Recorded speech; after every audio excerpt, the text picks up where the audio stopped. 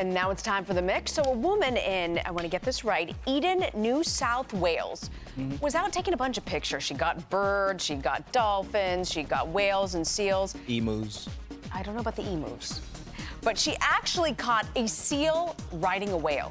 How? That, that's a seal on top of a whale.